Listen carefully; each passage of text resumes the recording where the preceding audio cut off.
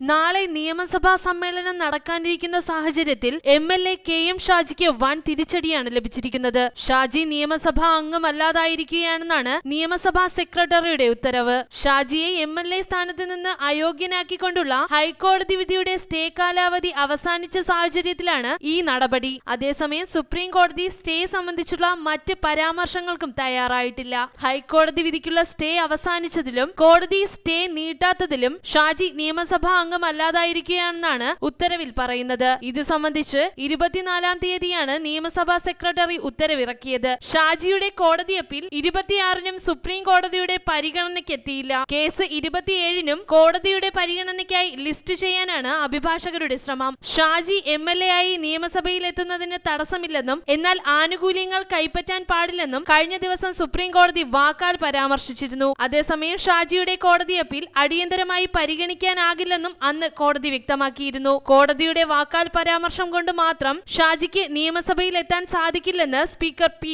ശ്രീരാമകൃഷ്ണൻ അറിയിച്ചിരുന്നു. ഇതിന് പിന്നാലെയാണ് നിയമസഭാ സെക്രട്ടറി ഉത്തരവിറക്കിയത്. തിരഞ്ഞെടുപ്പിൽ വിജയിക്കാൻ വർഗീയ പ്രചരണം നടത്തിയെന്നാരോപിച്ച് എൽ ഡി എഫ് സ്ഥാനാർത്ഥിയായിരുന്ന എം വി നികേഷ് കുമാർ ഹർജി നൽകിയിരുന്നു. ഈ ഹർജിയിലാണ് കെ എം ഷാജിയെ ഹൈക്കോടതി അയോഗ്യനാക്കിയത്. News desk Malayalam express.